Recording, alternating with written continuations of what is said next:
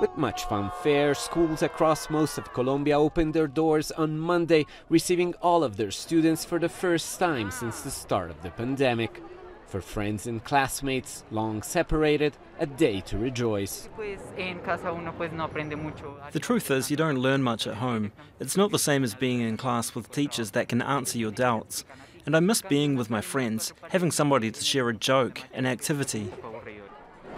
Schools in Latin America have been closed for an average of 231 days, longer than any other part of the world.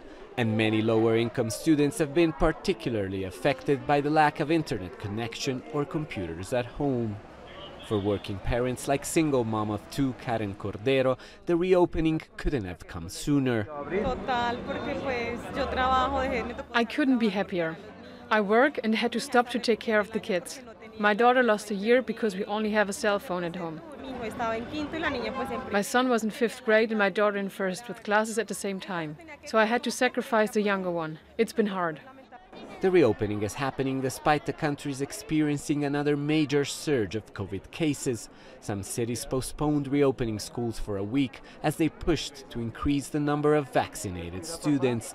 But in the capital Bogota, the reopening went on as planned. At least 64% of public school students have received at least one dose of the vaccine. Today is much more than simply returning to face to face schooling. It's the beginning of a new form of life and education. We all need to learn. It's the beauty of education. Both climate change and the pandemic force us to live and learn in new ways. But many professors and unions remain wary of the decision, saying little has been done to deal with overcrowded classrooms, lack of infirmaries, and promised hygiene kits in many public schools. It's evident that all the biosecurity talk has little support in reality. If you look at the overcrowding or the students in a small space, it's dangerous for them and for us.